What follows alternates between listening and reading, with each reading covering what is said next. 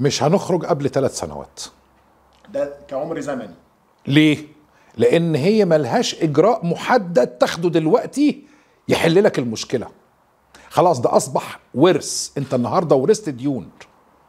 وما تقدرش ما تسددش أقساط. لو لو جيت تخلفت عن قسط واحد الأمور ستكون أشد سوءا.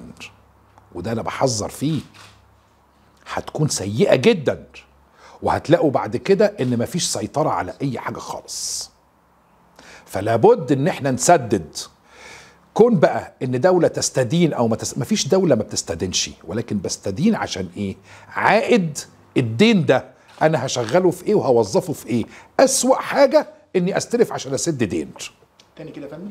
أسوأ حاجة إني أستلف عشان اسدد دين ولكن النهارده مع هذا الموروث مضطر.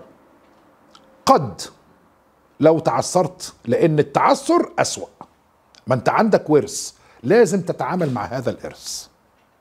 ولكن إحنا سياستنا هو عشان كده بنقول إيه هنقلص عجز الموازنة عشان ما نضطرش نستلف ونسدد ديون هنقلصها إزاي؟ بإعادة هيكلة الأعباء الضريبية. أنا هخفض أعباء ضريبية وهخفض ضرائب ورسوم على القوائم والسلع اللي قلت لسيادتك عليها. ده دي هتزود لي عجز الموازنة. بس دي أربع قوائم فقط. أنا عندي عشرات القوائم اللي هي السلع الكمالية والسلع الترفيهية أو الرفاهية سلع الرفاهية. لازم أرفع عليها عشان أحقق هدفين. الهدف الأول إن أنا أقف مع الطبقة المتوسطة والطبقات الضعيفة في احتياجاتهم اليومية والأسبوعية والشهرية وأقف جنبهم عشان ما يتآكلوش وينزلوا إلى الطبقات ال- الأدنى. آه، الحاجة التانية إن أنا أحقق هدف تاني إن أنا هيجي لي عائد أكبر من اللي أنا باخده دلوقتي أقلص بيه عجز الموازنة. فأبقى ضربت عصفورين بحجر واحد. مين اللي هيتضرر من هذا الإجراء؟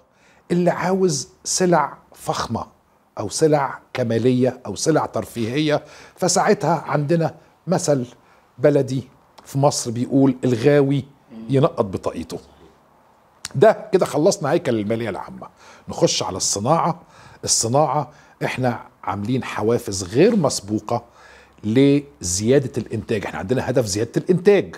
لازم أدي وبقول ثلاث سنوات ليه؟ محدش هيجي يعمل لي مصنع في شهر أو شهرين. أنا لازم ويكون بخطة تخدم أولويات الدولة المصرية. يعني لازم يعني نفترض عندي صناعة معينة والناس شايفة إنها بتكسب يوم يروح كله يعمل مصانع مشابهة ومتكررة وأنا عندي اكتفاء ذاتي وما عنديش أسواق للتصدير فيها.